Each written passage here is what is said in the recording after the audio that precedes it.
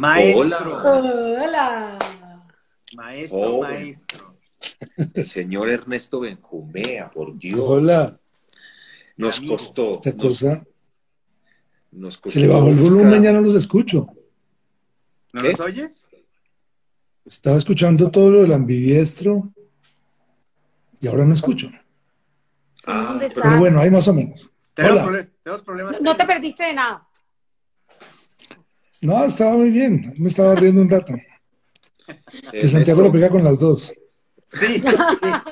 Más conocido de, es de vapor y vela. Hay que estar abiertos a lo que pase, muchachos. Vivir las experiencias. Sí, ya. Negarse nada, no hay que negarse nada, Santiago. No, esto se nos va a acabar dentro de poquito y no. Bueno, les presento a Ernesto Benjumea. Hombre, eh, fue complicado tenerlo debido a sus múltiples ocupaciones. Eh, lo llamé hoy y pudo. Pero el pago, Pero- el pago, o sea, Pero era hoy. Era hoy.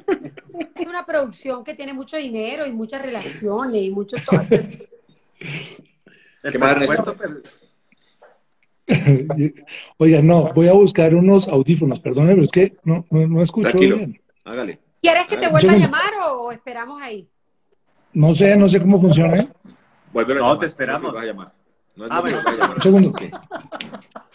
Aquí todo está muy bien cuadrado. Todo claro. Vuélvelo a llamar, no, que se quede ahí. Ah, no, no, no, somos un No, te esperamos, te esperamos. No, no, esperamos, no, a llámalo después. Bueno, pero chismosiemos, de 15 chismosiemos que hay ahí atrás. Chismosiemos que A hay ahí ver, te atrás. doy unas A ver. fotos. No, Ah, mira, verra. Una milanta. Ya estoy. ahora sí, Ya, ahora sí. no alcanzamos a ver qué había atrás. La milanta, dijo Adriana. Una milanta. Miranda y.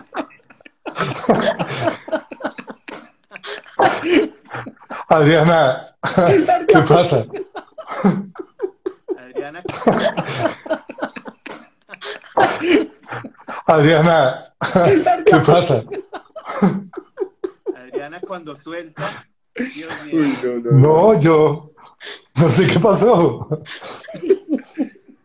Empecé es que mal. ella. Uno- unos pañales. Unos, no estén adultos, un ultra coreja. oye, Ultra coreja. Pero con tal de que no aparezca el cassette ahí. Ay, no. Bueno, ya pasamos. Bueno, dejémoslo así en punta. Dejémoslo así en punta ya. Oye, no, pero qué placer tenerte con nosotros, qué emoción para mí, pues tenerte. Yo sé que ellos son amigos tuyos, pero yo soy menos cercana para nada, no te conozco, pero me fascina poder tenerte aquí, una persona que además te sigo, te sigo en las redes sociales, te, rigo, te sigo hace muy, muchos años y es un verdadero placer. La gente está feliz contigo acá. Sí, Bueno, pues. eh, en- eso- usted ganó en, el, en, el- en la, en, la, en la pregunta de quién quieren de invitado, ganó Ernesto Benjumea. Estaba con Haider. Con Jaime. Estoy mejorando porque alguna vez, alguna vez perdí Estaba- con Naren Daryanani. Entonces, creo que la carrera va. Kuzumbo, Nare.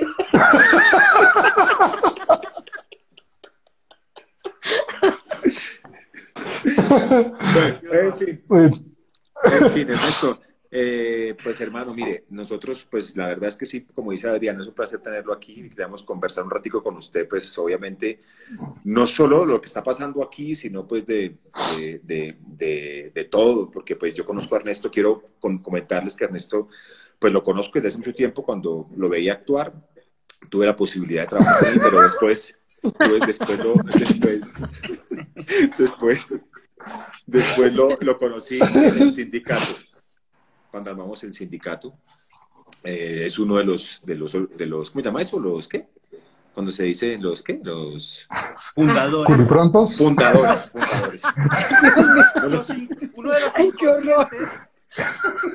Uno de los fundadores del sindicato de ACA. Y ya no tengo ni puta idea de qué pregunta hacer. Esa, esa pa- esa palabra tan difícil de encontrar. Fundador. Co- ¿Cómo llamas tú en Colombia esta cosa? No recuerda que- no. Bueno, vamos con la pregunta, Bueno. primera pregunta de nuestro, de nuestro cuestionario. Ernesto, ¿quién es? Ay,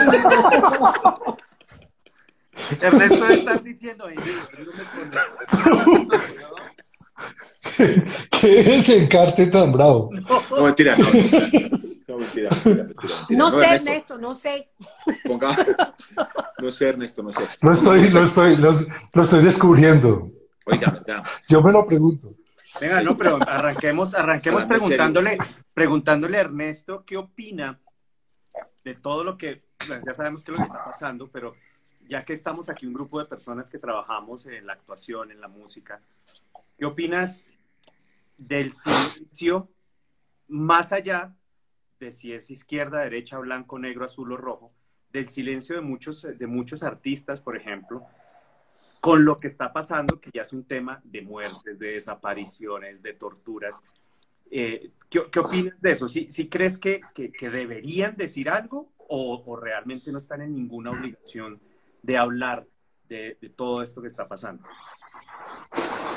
Pues yo creo que hay varias cosas. Yo creo que no solamente los artistas, sino mm, todos los ciudadanos eh, tenemos que hablar. Digamos, yo, yo creo que todos tenemos que eh, tomar alguna posición acerca de si mm, la gente de mi ciudad, de mi país, eh, la están matando, si, de si están aguantando hambre. Pues a mí me parece muy complicado eh, querer pasar de acache y, o querer taparse los oídos y, cerrar los ojos y no saber que eso está pasando. Ahora, eso en el caso de un artista, y no estoy hablando, digamos, de una persona que tiene eh, el entrenamiento técnico solamente de, de desempeñarse como en alguna de las, de las artes, sino que además siente como artista, quiere vivir como artista. eh, eh, ¿Cómo, cómo hace pues para desconectarse de los seres humanos y seguir siendo artista? Yo no, no lo entiendo. ¿no? Pues digamos que eventualmente otros profesionales logren taparse los ojos y los oídos, pero un artista cómo, no, no sé. Pues. A mí me parece impresionante lo que dices porque arrancas diciendo, no, un ciudadano. Y eso, y es que de verdad, uno no opina por ser artista, uno opina por ser ciudadano. Lo que pasa es que lo único que te da la diferencia de ser artista es la manera de expresarte. Pero Claro. debería motivarte y me parece de verdad que eh, genial lo que dices porque todavía eh, hay una parte de la sociedad que no es artista ni nada, una parte de la sociedad que también vive como en otro como en otro planeta. No sé cómo le hacen porque es que lo que está pasando es en todos lados, a toda hora. O sea, yo, yo no me desconecto. Nosotros los que estamos aquí no logramos desconectarnos. Antes, por el contrario, uno intenta desconectarse como para hacer otras cosas que tiene que cumplir, pero es muy difícil desconectar el corazón. ¿Tú a qué crees que se debe? ¿Qué es lo que pasa con ese colombiano que se hace loco frente a una situación? ¿Qué es lo que sucede en esa sociedad indiferente, indolente? ¿O, qué es lo que lleva que hace? O, o definitivamente por protegerse, no sé. ¿Qué será? Yo, yo creería que hay por lo menos dos grandes grupos. Yo creo que hay, una, hay un grupo mm, que abiertamente decide, digamos, pararse en su privilegio, en sus privilegios y, y cerrar, cerrarse a lo que está pasando, porque lo que está pasando pues es muy crudo, es muy difícil y no estamos hablando, digamos, de lo que ha pasado en el último mes ni en los últimos tres años, sino que es que en este país eh, todos los días se mueren niños de hambre. Y eso, mm, eso es una cosa, eso no empezó ayer.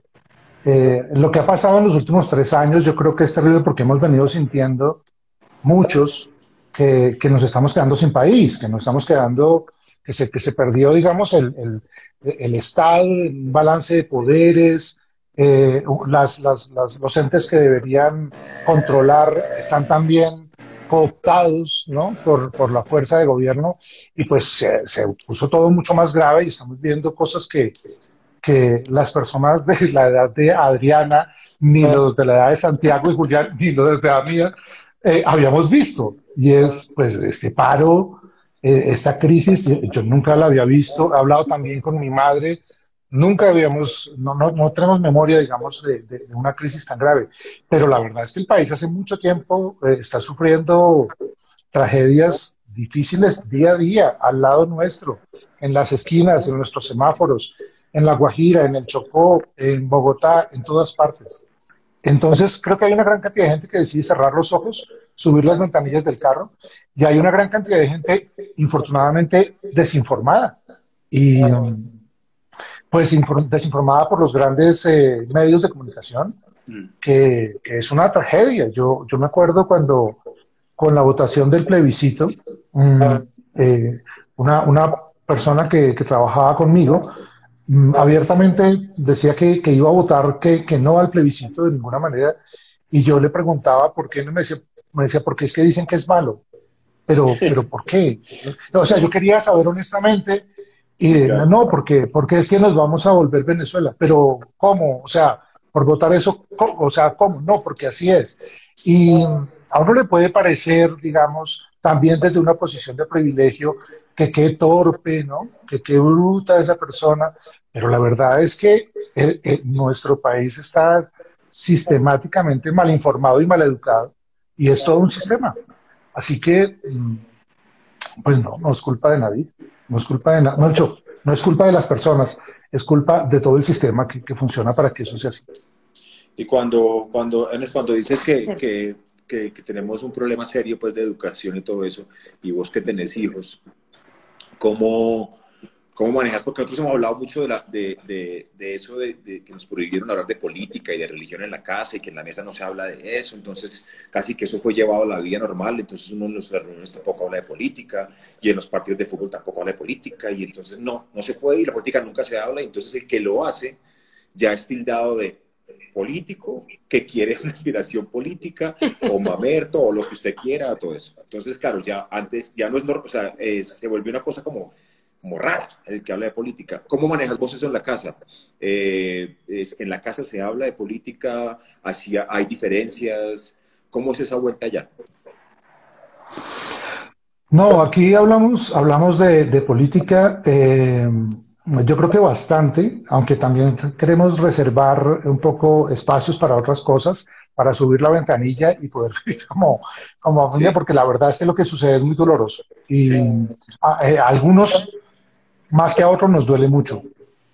A veces, em, yo creo que yo, yo, yo he creído, digamos, que se necesita esa formación crítica, ¿no? Eh, esa formación en lectura crítica lectura crítica de, los, de las noticias, lectura crítica de cualquier eh, cuento, novela, telenovela que uno vea, poderla, poderla ver eh, y poder analizar por qué sucede lo que sucede. Y eso, digamos, como papá, es en lo que yo más me, me enfoqué. Obviamente con mis dos hijos tenemos muchas afinidades, eh, pero con mi hijo en concreto, a veces no siempre, no tantas, a veces tenemos ciertas diferencias eh, sensibles. Y, um, y las enfrentamos y las hablamos hasta que, hasta que eventualmente llega un punto donde hablamos de un cierto tema que yo he tenido que llegar a un punto de decirle a mi hijo, sabes que yo contigo no quiero hablar más, porque estamos llegando a un punto donde, donde ya se rompe la comunicación. Y yo creo que puede pasar, ¿no? Digamos, si una persona eh, no, me pasa con mi hijo, pero digamos, si una persona le dice a uno ciertas cosas, yo creo esto porque esto y esto es así, uno dice, no, aquí no voy a tener puntos de encuentro. Me acuerdo con el sindicato, por ejemplo, que a veces uno trataba de hablar con la persona que está del otro lado de la mesa y uno trata de hablar de lo que lo une. Pero llega un punto donde si la conversación llega a cierto punto, lo mejor es dejar ahí y está bien también, ¿no? Ahí, si nos metemos por ahí, vamos a, vamos a entrar en, en, en conflicto, en discusión, en pelea, y yo creo que nunca hay que abandonar pensar en qué nos une. A mí me encantaría poder hablar con uribistas, eh, que alguna, un, par de veces me ha pasado nada más, y poder hablar. A Julián, ¿no? Julián, Julián, eh, me gustaría, y poder hablar, poder decir por qué lo ves así, por qué es esto, qué es lo conveniente de esto, de aquello. Me parece que el diálogo es, es muy positivo y entre otras cosas, insisto, fue mi razón para ser uno de los fundadores del sindicato, es la, la, eh, la pretensión de hablar, ¿no? hablar, sentarse a la mesa. Porque uno dice muchas cosas y se reúne con tres amigos y habla mal de los demás y con los demás nunca habla. No saca nada. Es un poco la dinámica de Twitter, ¿no? Claro. no saca nada, no, construye nada, no. A uno no le cambia la cabeza para nada y al otro tampoco le va a cambiar. Lo que se generan son unos polos ahí. Bueno, eso Impresionante, no, impresionante lo que dices. Uf, de verdad que sí. Aparte, aparte creo que el ejercicio de, de ACA demuestra eso. Eh, los grandes logros de ACA, eh, lo de los, ¿cómo se llama? Los acuerdos con los canales fue así, sentados y hablando. Eh, sencillo, cosa que no se pensaba antes, por lo que tú dices, antes como que pensábamos que eran los enemigos y nosotros éramos los únicos que teníamos la razón y ellos no tenían la razón. Y cuando se dio ese, ese, vínculo, que, que, hoy en día a mí me parece maravilloso y todavía agradezco eso, que los canales eh, productores quieran todavía sentarse a hablar, eso me parece maravilloso porque se avanzó muy rápido. Yo me acuerdo que, que en la cabeza de varios teníamos, no, esos acuerdos se van a demorar años y pasó muy rápido, muy rápido. Fue cuestión de sentarse y hablar, sentarse y hablar. De hecho, creo que la demora fue por las agendas de, eh, unos, unos actores están grabando y las empresas no podían, qué sé yo. Así que me parece maravilloso y me parece importante el tema de, sentarse a hablar con el otro, que es donde está lo interesante. Porque pues sentarse con el que todo el tiempo te hace así, pues, me siento claro. Yo, yo, confieso que una de mis motivaciones grandes para, para decirle a un grupo de amigos, tratemos de armar el sindicato, fue que me aburrí de estar en grabación llegar a la hora de almuerzo, que es que, es, que además, además es muy estrecha, y empezar a, escuchar cinco, seis, ocho, diez voces hablando mal de la producción. No me lo digas a mí, anda y se lo dices a él. Y entonces en última yo dije, vamos y se lo decimos pero sin rollo, sin problema. Y cuando llegamos, yo, yo además fui vocero en esa primera junta, fui uno de los voceros, cuando llegábamos a los canales y nos sentábamos, obviamente los productores dijeron sindicato y nos recibían pues con muchísima prevención, pero cuando empezábamos a hablar y les decíamos, mire, nosotros les podemos contar dónde se está perdiendo platica porque nosotros estamos todo el día en el set. Y nosotros sabemos que hay cosas que pueden funcionar mejor se abrieron los ojos y entendimos que, digamos que nuestros grandes canales se han hecho pues por la por, porque nuestros eh, productores, nuestros empresarios han sido muy arriesgados, pero porque tenemos un talento humano impresionante que han llevado a los canales a ser lo que son. Así que somos un poco dueños de ese, de ese éxito. Y eso se entendió y pudimos hablar muy rápido, hablando con quien el que se supone era el contradictor. No hay tanto contradictor. Hay muchas cosas en común con todo el mundo. Muchísimas. Seguro.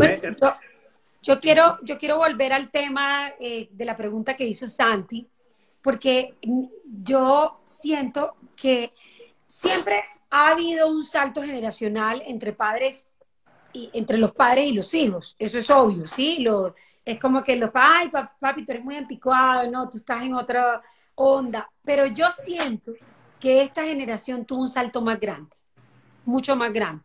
En tema, yo siento que es como si se hubiesen saltado un montón de cosas, al punto de que uno conoce muchos padres que están en contra de todo esto y los hijos son marchantes, que van, o sea, es, una cosa impresionante.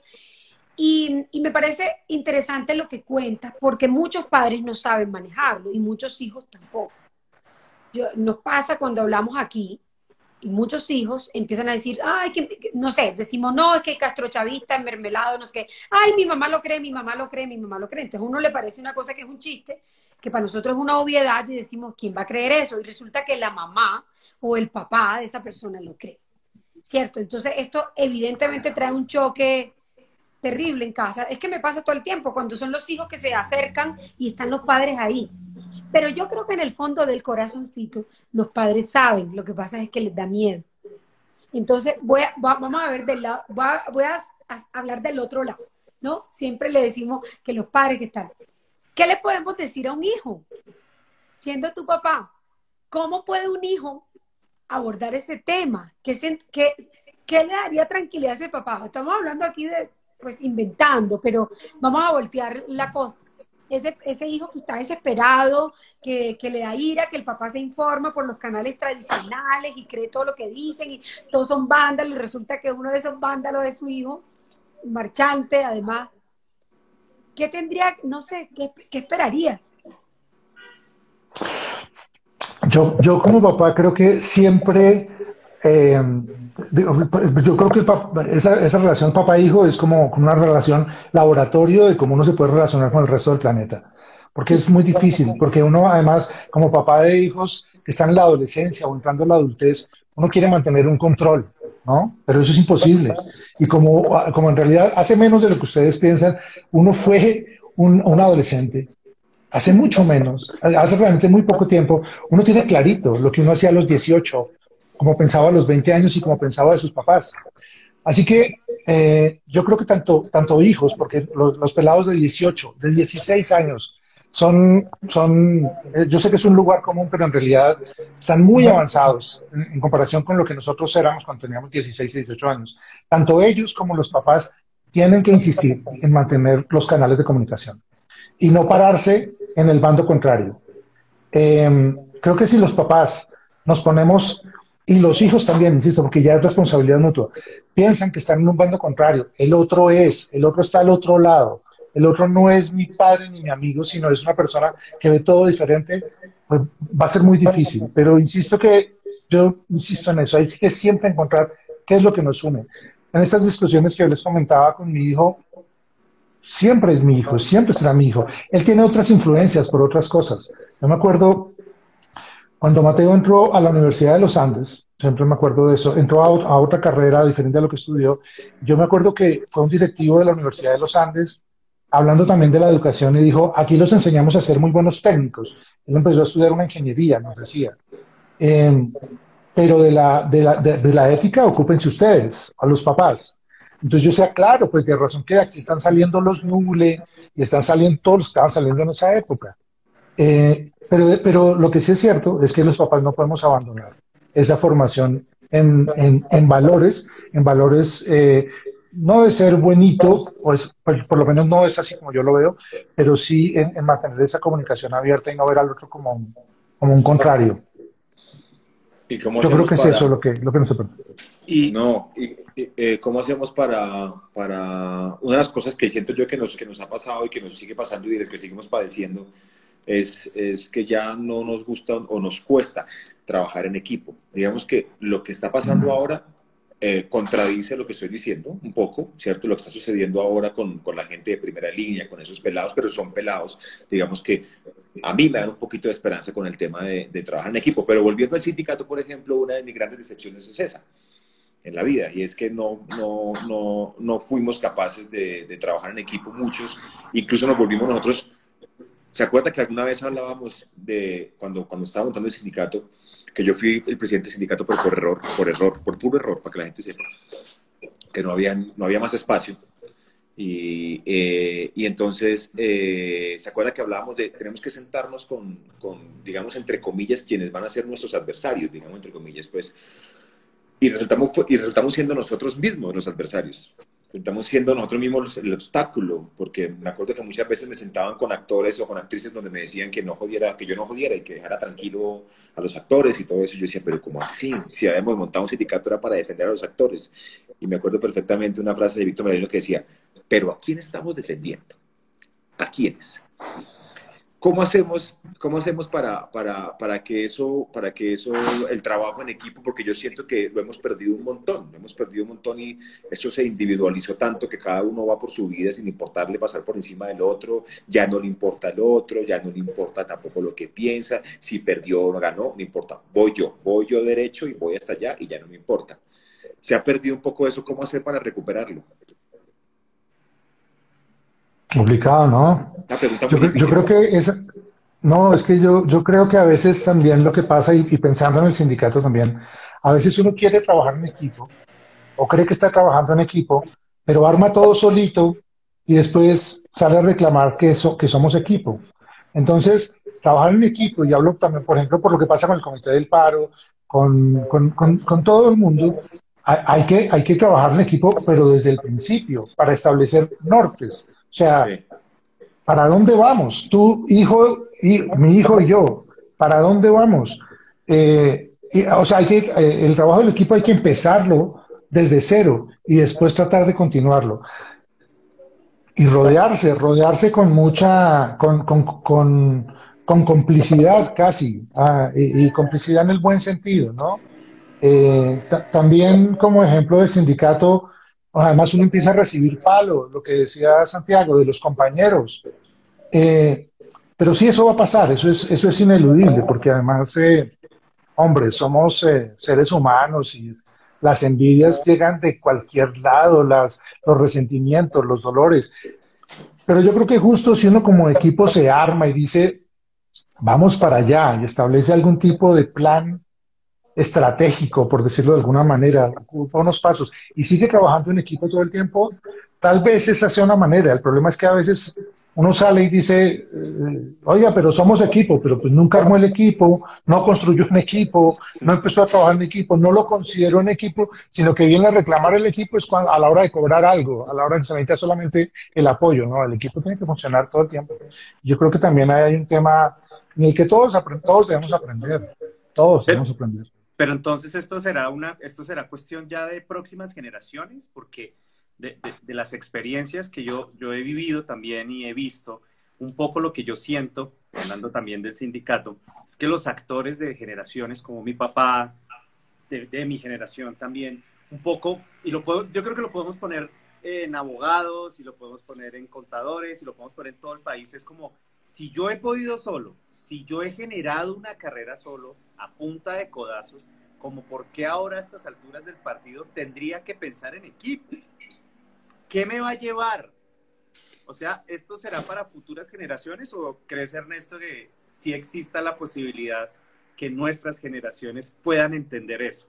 Lo estamos viendo, por ejemplo, en el por el presidente por el país, que él no. O sea, es un tipo que no escucha, es un tipo que quiere hablar solo. Pero, pero ¿sí existirá alguna posibilidad o habrá algún camino de llevar a estas generaciones a que entiendan que unidos es más importante y es mejor? ¿O ya yo no sé. Yo, yo, creo que eso va creciendo como una manchita, ¿no? Puede, puede que, que, ojalá que lo aprenda, que lo aprenda y lo viva con absoluta coherencia uno, una persona, que se, que se convierta en un líder y eso se vaya extendiendo.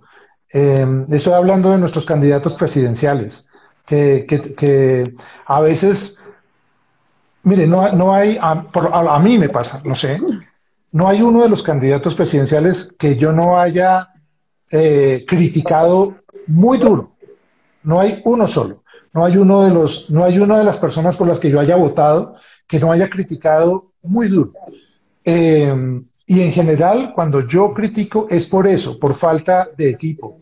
Ahorita, por ejemplo, a mí me parece, y estoy seguro que a, muchos colombianos nos parece absolutamente evidente que necesitamos equipo, porque el país está tomado por un pocotón de gente muy peligrosa, eh, que están ligados con narcotraficantes, con, con paramilitares. Ellos se hacen equipo, ellos, ellos, ellos más que equipo, ellos tienen, digamos, una banda con un jefe, con un patrón y hacen caso. Hacen acuerdos, hacen acuerdos. La gente que está, la gente que está del otro lado no es tan así, porque hay muchos, eh, mucha gente que la izquierda, digamos, ha sido el problema tradicional. Hay, hay mil integrantes de un partido y mil un líderes. Es, es, es, muy complicado. Pero hay que aprender. Y en este momento, digamos, yo creo que la agenda de este país es sacar a esa gente del poder y recuperar el país. Y si a mí me toca votar por unos personajes que me parecen nefastos, pero que claramente son anti eso, lo haré. Porque es, porque tenemos que hacer equipo y nos tienen, tenemos que unir lo que decíamos, tenemos que concentrarnos en lo urgente y lo importante. Eh, ¿qué, es lo urgente y lo importante en ese país? ¿El metro elevado? No, o, sea, sí, buenísimo que hubiera sido elevado. Estoy diciendo una bobada, pero digo, eh, hay que concentrarnos en lo importante y hay, y hay que unirse y, no podemos ir a votar en blanco. Hay que decidir, ¿queremos esto o no lo queremos más? Punto. Y si queremos eso, pues vamos y votemos por eso, si esto nos parece bien y nos gusta. Pero eh, hay que decidirnos. O sea, estamos en un momento muy grave y tenemos que unirnos y, y en eso nuestros líderes tienen que dar ejemplo de, no atacarse entre ellos. E igual entre ellos son muy diferentes, pero empecemos por algo, saquemos a esta gente. Y ya después vemos... Decía David Sánchez Juliao que en diciembre los riquitos se ponían en el club a bailar sabroso y los negritos matándose en el barrio. Y, y, es la muestra eh, que sucede, ¿no? Muchas personas y que tú los ves son enemigos y el uno habla del otro y son y de pronto los ves juntos, unidos y felices porque llegan a acuerdos, lo hacen y así van, así van todas las generaciones y lo logran al punto de que muchas personas no saben, pero muchas de esas bases que trabajan en, la presidencia, en muchas de las instituciones, son los mismos que han trabajado durante todos los gobiernos y se dicen diferentes y que son de otro combo. Mentira. Todos pasan o salen de aquí para acá y ministro de ahora aquí, ahora es como, como que, y yo siento, eh, y ahí hago una autocrítica y una crítica a los que creemos en, en, esto que está sucediendo. Mira, yo, yo siento que nos nos, nos ha faltado grandeza, pero es tiempo para aplicar esa grandeza. No, no estamos tarde para hacerlo. Pero, por ejemplo, evidentemente, el Comité del Paro no representa al sentir de la calle, ¿cierto? Lo que sucede en la calle tiene muchos líderes. Uno espera que vayan y se reúnan con las primeras líneas y con las eh, juntas de acción comunal, con las juntanzas, con todas estas personas que están haciendo movimiento, pero no se puede desconocer que el Comité del Paro representa a alguien, ¿sí? también. Y está más cerca acá que allá. O sea, independientemente que no nos guste y que nos parezca que tal y que el otro, que, que entonces yo ahí hago un mea culpa. Nosotros también hemos buscado eh, divisiones entre los mismos que estamos de este lado porque no me gusta una cosita, porque es que ese después que me miró mal, ¿sabes? Eh, y yo creo que estamos en, un tiempo muy grande de, de poner por encima y renunciar un poco a esas peticiones individuales. Es el tiempo de renunciar a lo que yo creo que me toca y lo que la gente debería hacer. Y llegar a eso que tú dices, a, a, a, una, a qué es lo que nos une, ¿sí? ¿Qué, ¿Por qué estamos acá? Hay acuerdos generales que nos unen a muchos, no a todos, pero a muchos. El amor a la vida, la defensa de la vida, es imperativo. Eso, eso, eso tiene que estar, eso es un acuerdo al que tenemos que llegar. ¿Qué quiere decir eso? Que el que no defienda la vida, no podemos alinearnos con esa persona porque hay cosas que son negociables y otras que no. Y, y, yo esto lo hablo pensando en el público que, que, también nos está escuchando, porque en lo que viene es donde más tenemos que mostrar la grandeza. Eh, ya, ya el paro ha llegado a un punto diferente, eh, ya hemos llegado a, a, abrir las puertas al paramilitarismo, que nunca se fue, pero sí se había eh, calmado un poco, pero ahora es de frente y una sociedad, y entonces ya llegamos a, ahora vienen momentos de elecciones, entonces la registraduría, o sea, son decisiones fundamentales. Entonces yo, más, más que cualquier cosa, quisiera pedirle a la gente y a mí misma y a los que estamos aquí, que, que miremos sobre qué nos vamos a, a, a plantar y sobre qué nos vamos a unir, porque yo no, yo no pienso diferente, yo no pienso igual, yo pienso muy diferente a muchas de las personas a las que quiero, admiro, respeto, en temas fundamentales, ¿cierto? Pero uno sí sabe de qué lado ponerse, sabiendo quién está del otro lado. Entonces, no podemos pretender que unos procesos que llevan 60 años de abandono lo vamos a resolver en dos meses. no. De acuerdo. hablando, hablando de, de grandeza, eh, yo quiero, con el respeto de, Ernesto, obviamente, si, si, si, le molesta, pues me dice, no pasa nada, pero yo quiero hablar de, de su papá, de, del gordo, pues hablando de grandeza y de un actor tan maravilloso que le dio tantas cosas. Bueno, yo confesé alguna vez que fue el primer actor colombiano que yo recuerdo que me haya hecho reír. Y que después de eso quedó marcado para mi vida, para siempre, y él es el gordo Benjumea que pues que a quien tengo que agradecerle muchísimo y que tuve el privilegio grande de también trabajar con él. Pero volviendo al tema de, esto de, la herencia, de lo que deja, del conversar, de, pues de charlar sobre la situación del país, sobre la vida, son diferentes tiempos, pero usted pudo tener esas charlas con su papá, usted pudo conversar con su papá de esas cosas, a él le gustaba o no le gustaba, ¿cómo era la relación con su papá frente a ese tema? Yo, yo, soy bachiller del Colegio Mayor del Rosario, que es un colegio de una godarria eh, que todavía a veces me encuentro pegados. Muy duro. Y, Y no, en serio, es muy, muy, muy difícil, muy difícil.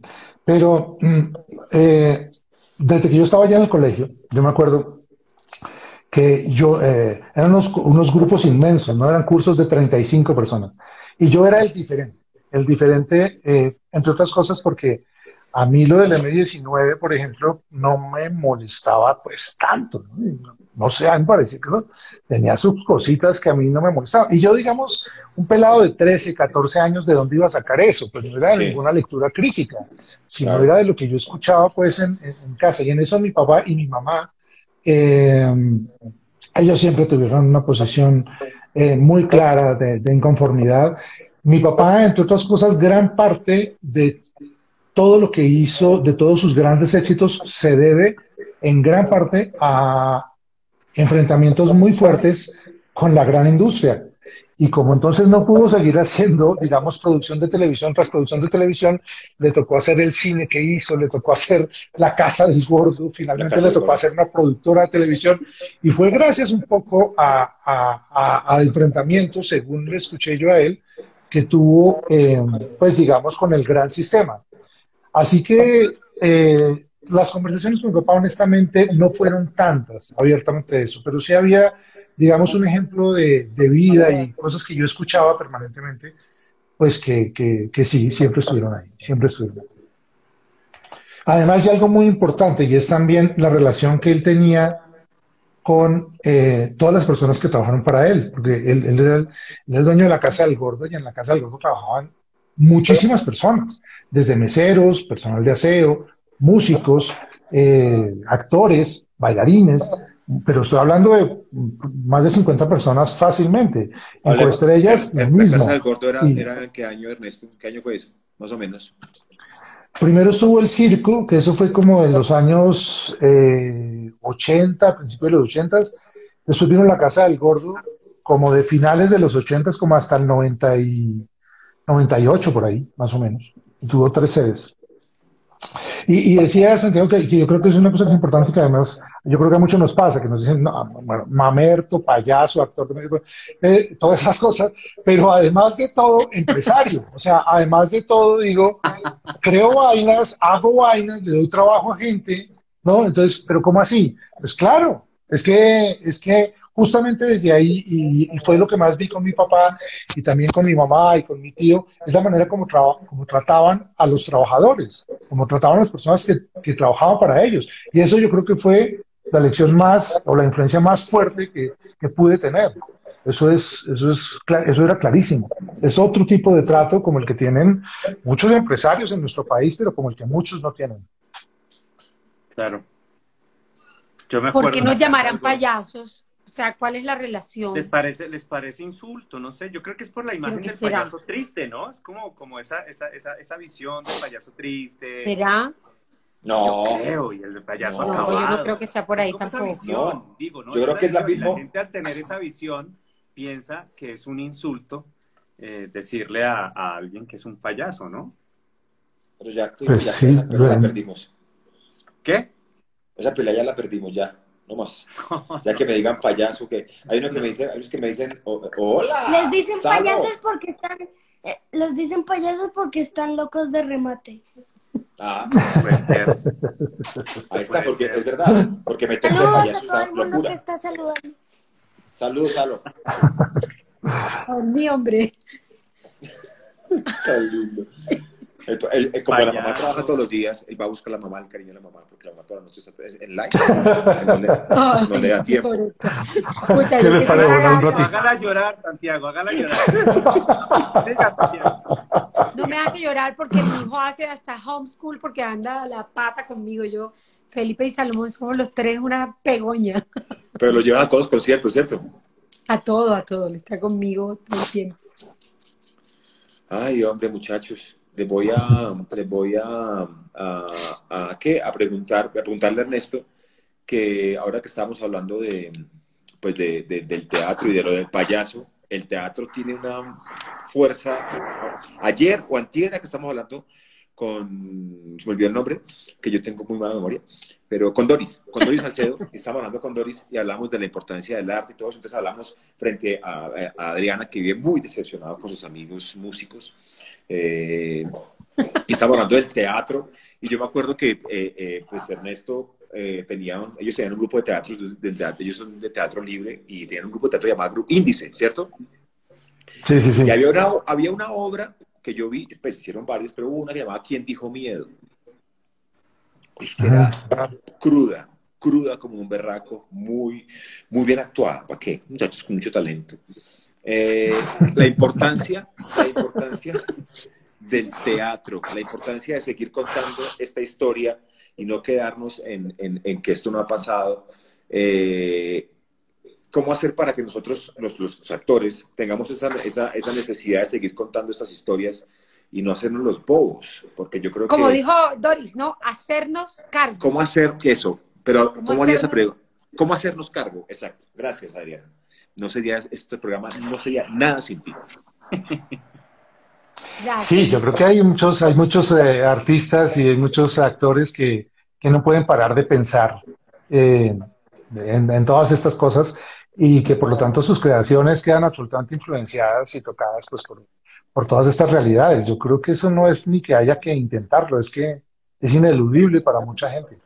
Hay actores que, que, que a pesar de, digamos, un, de tener trabajos y producciones en, en televisión y en cine y en trabajar en otros países y otras cosas, eh, no paran de hacer teatro. Y pues eso está ahí, eso no, digamos, yo no sé si es que haya, como que hay que hacer para eso, sino más bien que hay que hacer para dejar de hacerlo, para, en el caso de muchos. Yo creo que, yo creo que lo de los actores, digamos, es una cosa muy particular, eh, eh, hablando de Adriana y sus compañeros, eh, porque es que uno trabaja, uno trabaja de, de, de meterse en las entrañas de otras personas, de tratar de ver por los ojos de otras personas.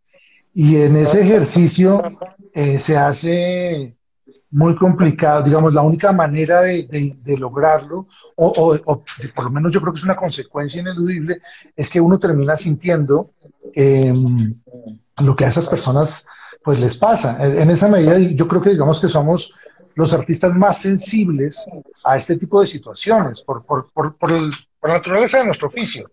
Yo creo que, no sé, tal vez sea una cosa natural de estarle entrando a las tripas a una cantidad de gente, a, a, a políticos corruptos, a personas que están en la calle, a, a paramilitares, a, y uno termina un poco haciendo conocimiento de eso, no por las noticias, sino desde adentro. Y yo creo que por eso también hay tantos actores eh, metidos, pues digamos, un poco con esta sensibilidad y con este dolor permanente por ahí. Yo, yo creo que es por eso también. A no ser que sea actor, cantante, bailarín. O que juegue, a no ser que actúe y actor. Sí. o que juegue a la parodia del artista, como decía. Exacto, sí. sí. Yo mejor Exacto. me callo sí. frente a eso. ¿No? Sí, no, sé qué no, en serio, yo creo que todos los artistas de alguna manera lo hacen. Igual. Pero yo creo que los actores ya está en nuestro oficio, pues, meter ese trabajo, ¿no? Sí, igual mucha gente se molesta cuando, cuando uno dice, ay, que ese es actor, y uno dice, no, no, no, sale en televisión. Un poco como que en el mismo costal meten a todo, a todo el gremio, y creo que lo que está pasando es que desde hace mucho tiempo y hace un tiempo se está diferenciando eso. No quiero decir, ni más faltaba que una ¿Dónde se diferencia eso? Pues en el compromiso, en, en, en, el que realmente le gusta lo que está no, haciendo. pero si, pero si esto ha pasado toda la vida. O sea, no sé, yo no estoy acuerdo, pero tenemos mil ejemplos, o sea, gente como Borges, no sé, de gente, gente claro. brillante, artista y cero comprometida con muchas causas políticas. O sea, hay mil no, no, ejemplos no, sí, de yo, gente... pero lo que estoy diciendo era, estaba haciendo la comparación entre, entre cuál era la diferencia, que, que, por eso puse el ejemplo, de los que salen en televisión y los que realmente creen que la actuación es una profesión, es una forma de vida, es una necesidad, como dice Ernesto, de hacer, sí. de entender, de, de, de procesar cosas. Y eso no le pasa a todo el mundo que trabaja en esto porque la televisión es muy generosa y lo sabemos. Sí, pero ah, también sí, no sí, tan, o sea, es más complejo y menos, porque yo conozco gente que es así súper de verdad, artista de verdad, de verdad, y tampoco, o sea, eh, no sé, yo, yo creo que, que es más complejo el tema. una Yo creo que es más profundo el tema, porque yo conozco mucha gente que tiene la sensibilidad, lo siente, sabe lo que debe hacer, pero no lo hace. Ah. Pero Adriana, mira, ahorita tú hablabas de, de Borges, por ejemplo. Eh, tenemos otro, otro, por hablar de escritores famosos en Latinoamérica, Vargas Llosa, famoso por, por, tener más. Claro, pero no es que no tengan compromiso político, es que tienen un compromiso político distinto. Pero ellos sí pensaban claro. en sociedad todo el tiempo. Eh, es que yo creo que es imposible no hacerlo. Digamos, no sé, yo no. No, hay no- muchos si alguien está comprometido con eso, pues es que yo creo que hay, yo creo que hay muchos virtuosos, que eso es otra cosa, y hay muchos que ni virtuosos, que es otro problema, pero, pero, pero, pero sí creo que es diferente, digamos, y, y no está, y digamos, yo no, yo no tengo, digamos, un, como una tabla de valores como que estos son mejores que estos. No, Sí, hay no. gente que tiene otra vida, hay gente Claro. que, hay gente que, pues, que vive en esto, que se preocupa por esto, hay gente, hay compañeros eh, eh, que, que arrancaron, que, que tienen su vida en esto y no hacen sino esto, y, y- y ya están estudiados, pues como que quién sabe muy bien para qué, pero, pero se han puesto a estudiar, ya están sacando carrera universitaria. ¿Y por qué? Porque tienen esto en su vida, porque su vida absoluta es esta. Hay gente que llega a escampar aquí, y bueno, no, yo, no, yo quiero un personaje, yo quiero aparecer. Está bien, solo cada, cada, cada pollito en su cajita, son cosas De diferentes. De verdad no hay, no hay como Pero el no que son- sí estudió, el que estudió más, el que siente más, Sí. el que es más comprometido. No, no, no, pero es diferente, punto, ¿no? Pero eso no se envía. No, eso más, eso me gusta más. Lo No que- es que yo siento más que tú. Tú no puedes sentir más que yo. Pero eso no, Claro. pero eso no se Sí, mide, eso eso, es. no se mide en, lo- en los resultados. Eso, eso sí no se mide en los resultados porque eso no tiene No. nada que ver. Ah, no. No tiene nada que Nada ver. que ver. Pero, porque, porque también hay otros que se lo encuentran y luego se enamoran y deciden Sí. tomarlo en serio. Sí, claro. ¿Entiendes? Eso, eso hay de Claro. todo. Y uno, yo creo que una vez hablamos con Ernesto, no me acuerdo, eh, porque con Ernesto hablamos mucho, hablamos mucho, tuvimos Sí, muchas sí, ¿no? charlas. Sí, tuvimos muchas charlas, de verdad. Eh, y tragos, nos tomamos unos traguitos. Pues, Ay, la cantidad de borracheras ha sido. Bueno, Adriana, ¿los dejamos solos? ah, Si quieres, lo único malo es que si me salgo se acaba el live, pero Ah, sí. ah, sí. No, pero, Pero- vea, eh, pero, pero puedo ponerlo sin con- cámara y sin audio. Pero, o sea, me imagino que en la música debe ser igual, ¿no? Gente que uno dice, este ni, ni nunca ha estudiado canto, ni, ni pero canta, o sea, uno lo escucha y se emociona. ¿Sabes que ¿Hay no? algún- ¿Sabes que yo estaba pensando ¿No? diferente? No, yo No, creo que hay un hay- talento em- empírico, pero no conozco a nadie que empiece a cantar después de un tiempo. Yo no conozco ningún caso. No, pero que no del haya tiempo no, pero me estudiado, refiero. sí. Pero, Eso. pero así, pero así como que tengo 15 años y ahora descubrí que canto. Que de pronto toma uno que de pronto toma uno que y dice, ay, voy a cantar. No, no, yo no conozco, no conozco y sobre todo porque digamos que hay, hay dos cosas puntuales, una que no se aprende y es la métrica, por ejemplo. La métrica no Sí. se aprende, si no hay curso para métrica, no existe una capacitación de métrica. La métrica la traes o no la traes y eso es determinante para hacer música, por ejemplo. La No, es que afinación, nuestra pero- profesión. Yo creo que la yo afinación sí se puede aprender. Hay gente ¿Y el desafinada que logra, pues, con, con- ensayando y lo logra, pero el- el- digamos la rítmica uno cómo hace. Eso A mí sí me atracaron, me robaron la métrica en Medellín. Tú sí tienes métrica porque tú cantas. Por a favor, mí el déjenla. oído, la viene en Fontibón me metieron una taracada de oído. Falso, porque los dos cantan. No, es que nuestra profesión tiene un problema, nuestra disciplina tiene un problema que es la cajita mágica esta de la televisión. Entonces ahí aparecen miles y pues mucha gente dice, yo también puedo y tienen toda la razón, también pueden. Entonces, Claro, claro, ¿qué es lo que se vuelve, se vuelve un Claro. que todo el mundo quiere estar Pero es ahí que porque es que esa gente gana mucho dinero y eso- y son famosos y todas las mujeres quieren con ellos y pues claro, entonces eso, eso también atrae mucho, mucho desocupado. Claro. Claro, Pero el mejor ejemplo que eso es lo Yo que pasa, puedo. digamos ahora con todo, con todas estas vainas que, que crearon para que todo el mundo pueda cantar. Eso, Claro, eso es claro. una diferencia Pero ¿qué gigante. Claro, pero ¿Qué en vivo no lo va a poder hacer, ¿verdad? Pero entonces, eh, yo por lo menos cuando yo empecé a cantar, no existía eso, ¿sabe? O sea, uno o cantaba o cantaba, porque O no había sí, manera. Claro. Sí, eh, no, no, ahora hay 10.000 aplicaciones, eh, yo no sé ni cómo se llaman, de, de si es aplicaciones o no sé cuál es el nombre, pero El lo usan. Bueno, pero hay mucho. El autotune porque se volvió famoso, pero Melodyne es mucho más usado, muchos, hay un montón que van perfeccionando, pero, pero es de verdad increíble porque ahí sí puedes hablar ah, ah, ah, y te lo afinan. Claro. Pero, pero, pero en la tele, oye, en la actuación habrá un programa así. No, no. La televisión, Sí. la televisión. No, pero la televisión sí, La, la, la televisión. salita, No. ahí. La, tel- la televisión No, no. sí, porque te hacen un plano, te hacen un plano bonito, Claro. con una música, un acercamiento y te cortan cuando la cagaste, sino que ponen una cosa y ya. Sí, Y una Sí, claro, sí. también puede funcionar. y una- yo, yo- yo creo que nos, nos salió competencia fuerte con, con la clase política, porque también uno mira y dice, hola, cualquiera puede, ¿no? Pues Sí. digamos, cualquiera No, puede ser. es más. Tener cargo es muy bajitos. importante. Yo y mi obsesión. ¿Sabe esta, en sabe este qué es No, yo mi obsesión, yo mi obsesión, manguito, marica, manguito, manguito del ejército. ¿Sabe qué es un Pues sí, o sea, ¿Ustedes vieron el video de, de- de- del señor Andrés Escobar donde pide disculpas? Sí. ¿Lo vieron? Ay, mal le pone no, no, música. Pero el mal le pone sí, música. lo que No, pasa no, es que si actúa, actúa mal, la verdad, ese. No, pero, pero estamos, no, estamos, no, es que lo peor fuera donde, donde le creyéramos. Ahí sí sería, sería la locura, Dame un pero- segundito, Claro. dame un segundito, muchachos. Yo quiero mandarle a mi invitado segundo, si está por aquí, que me mande una señal, porque no lo he visto, entonces no sé si, si va a estar o no va a estar, porque ya me canceló uno. Entonces, nuestro querido invitado, no sé si está por ahí, si me puedes escribir, mandar algo, saber. Sí, Naren, ya. Naren, conéctese, Naren. Eh, Vamos a hacer un duelo. ya pasó el telonero, Naren. Un tú a tú. Un toma y dame entre Ernesto y. Naren. No, Naren es un tipo queridísimo, yo me lo he encontrado y todo. Claro, y jugadorazo. Y está bien bronceado, Treme- tremendo. Ah, Sí, sí, sí. tiene buen bronceador.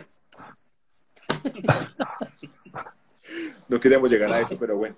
Pero bueno, no, pero, pero, pero, pero como ve Ernesto, se le respeta.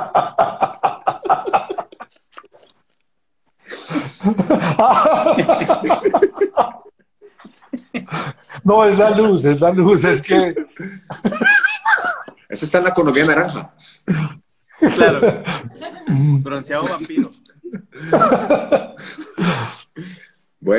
Eh, eh, eh, ¿qué, qué iba a preguntar? ¿Qué iba a decir yo? Ah, sí, el video del señor tiene música y la cámara y todo eso. Yo dije, "Hijo de puta, de verdad, hay el, no, eso es pura manipulación y, y- y- y un poco es el daño que le ha hecho el melodrama que, que lo llevaron, a, como decía Ernesto, lo llevaron a la política y ahora ya es tal, le ponen la música y, hay, hay a William Wallace y toda la cosa y, y, caemos redonditos, caemos redonditos en ese juego de, de ponerle música y, de, y, de, y, salir como héroes.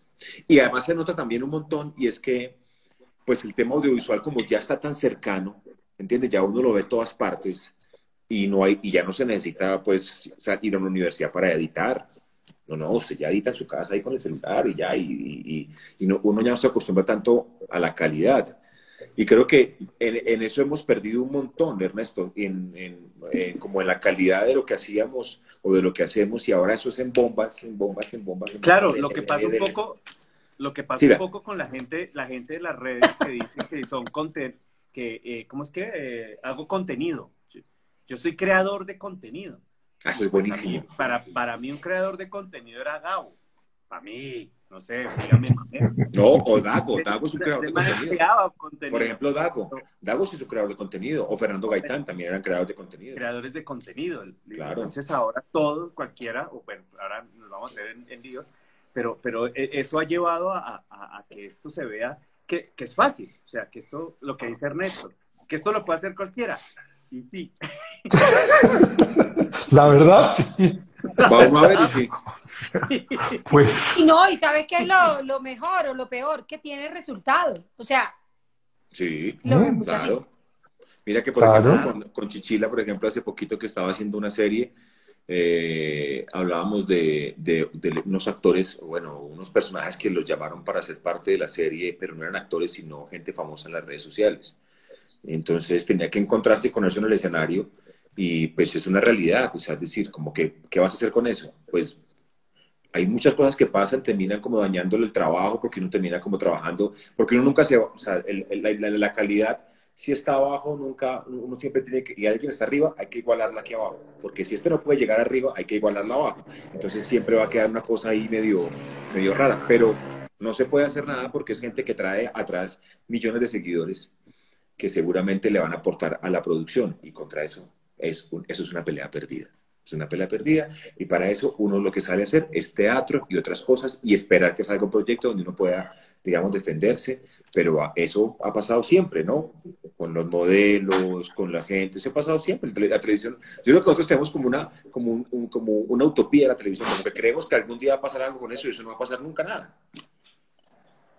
No, pues yo creo que sí, Santiago. O sea, uno ve la televisión, no, y, y- no, y- y- pues no sé. De hecho, uno ve lo que está pasando, digamos, en todo el mundo es que la televisión está mandando, pues, ¿no? A través de, de las diferentes plataformas y, y yo creo que también, no sé, yo, yo sí, yo sí confío, digamos, como en ese medio, como en su, en su poder de, de, de, de, de- de penetración, de, de la manera como puede llegar a grandes públicos y, pues digamos como por todo el mundo. Ahora en, en- en- estas plataformas se ven producciones de todos los países. Yo, yo creo que, no sé, a mí sí me da cierta esperanza. No, No sé. Me encanta, me encanta que tenga esperanza porque yo no. Pero, Pero mira No, que, se fue. Pero, eh, pero la televisión, al principio, bueno, la televisión hace 50 años eh, fue hecha por gente de teatro, gente que venía de la radio, gente que tenía una formación, dramaturgos. Y yo creo que esa televisión dejó una base. oiga, hacían el, el Rey Lear en televisión, ¿cómo era esa vuelta? Yo imagino que eso era súper aburridor. Aburrido. Uy, sí, Claro, para insoportable. Ah, No, pero ¿qué tal, qué tal, qué tal? Ernesto, ¿usted no le ¿El tocó qué? ir a No te oí. El, no, que hacían el Rey Lear. ¿Ah? A Ernesto no le tocó ir a, a, al Jorge Eliezer Gaitán a ver La Pasión de- en Semana Santa. La Pasión era, que era No, no, no, no. Una hora casi de cuatro horas, como con dos intermedios. Pero la misa que, más larga que yo hice en mi vida actuada. no, pero a mí, a mí el otro día vi un, el otro día vi un tweet que me llamó mucho la atención. Pero he visto unas obras de una hora que duraron como lo mismo en mi cabeza. Hasta un microteatro que no se acababa nunca. Son, son los cinco minutos más largos de mi vida. Dios. No, que el, otro, el otro día vi un tweet que me llamó mucho la atención de alguien que decía, lleve eso a otra profesión, ¿no? Porque mucha gente dice, ay, eso pasa en todas las profesiones, pero no es verdad. Eh, a ese nivel. Porque, por ejemplo, tú, di- ay, no, cualquiera puede actuar, ¿no? Y le pones a hacer una escena y cualquiera puede cantar, tal. Tú a un arquitecto no te importa, no, él no tiene experiencia, pero no importa que me haga la casa, o sea, no, este cirujano no tiene ni idea de operar, pero que me opere hoy, que, o sea, no, no, o sea. Bueno, por ahí podemos entrar al tema de los actores naturales, por ejemplo. Que ese es un tema. Ah, ese, me encanta ese tema. Ah, hablemos, Ernesto. Hablemos, por Ernesto, favor. Ernesto hizo de Víctor Gaviria en La Vendedora de Rosas. Sí. sabes, claro. Ernesto sabe Claro, claro.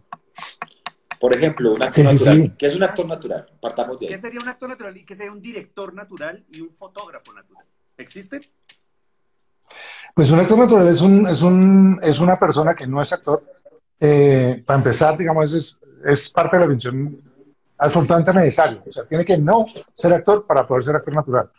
Y después de eso, pues lo que hace es eh, hacer un personaje que es él. Que es, que es él.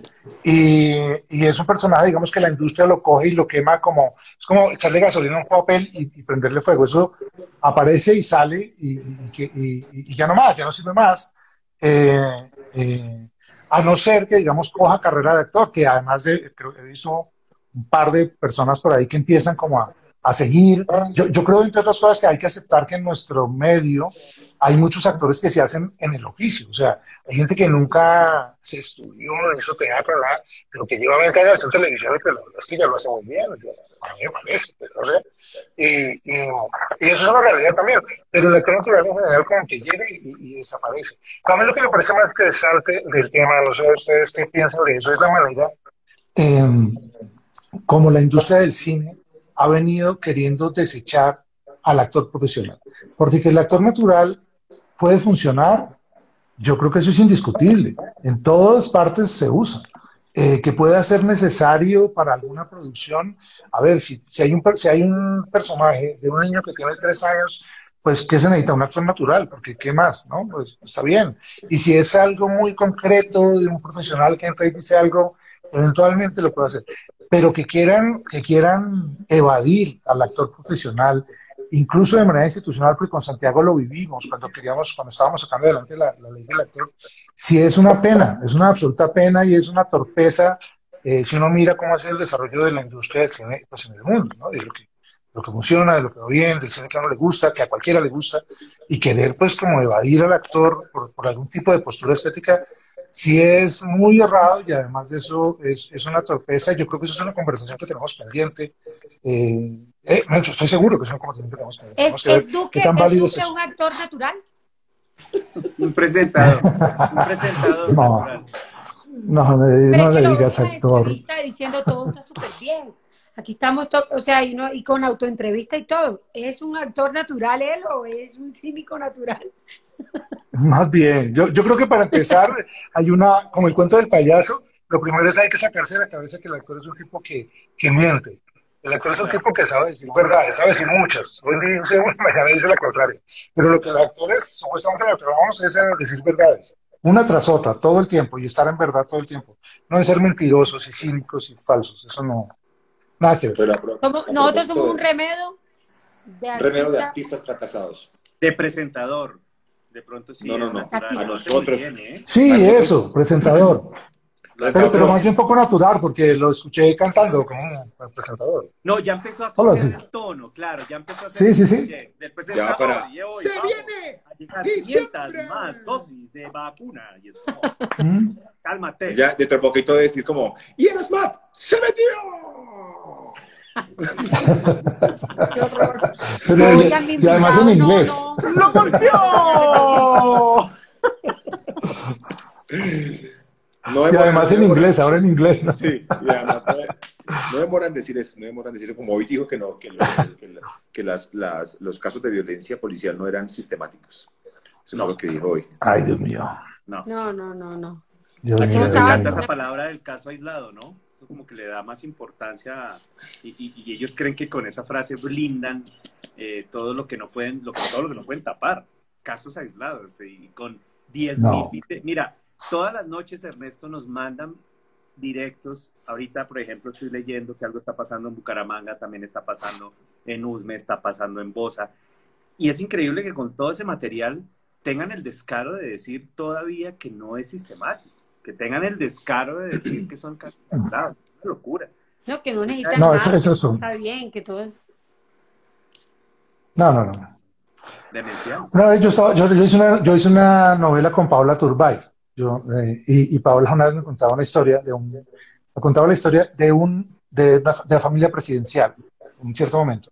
Me contaba cómo eh, eh, el hermano, uno de los hermanos muy famosos, eh, estaba de amante de la esposa del hermano de él, que creo que era presidente en ese momento. Entonces, No, Otra vez, otra vez, otra, vez, otra vez, Anote, Santi. El hermano de la esposa. Él, él, está- él- él estaba saliendo, él, él estaba saliendo con la esposa del hermano. El problema es que el hermano era presidente. Eh, eh, y me contó que habían salido, entonces que, que estaban saliendo, me lo contaba ella así, ¿no? Como muy normal, eh, y, y- y que habían estado, que estaban saliendo, y entonces que fueron a quiebracanto. Entonces yo, entonces, ¿cómo, cómo, que, cómo quiebra? A ver, pues, si son esta familia tan famosa y están diamantes, ¿cómo se van a ir a un sitio público? Y ella no, no entendía. Paola no entendía porque Paola es de familia de, de la monarquía, ¿no? Claro. Paola es una rebacana, pero ella es de familia, ella viene de ahí, y ella no entendía mi, mi duda. Yo decía, no, pues espérate, o sea, si van a ir allá, los ven. Y ella me dice, ¿y qué? Pues, pues ¿cómo y qué? Pues si son amantes, los van a ver. ¿Y qué? Ernesto, ellos tienen un periódico, o sea, tienen, tienen un canal de televisión.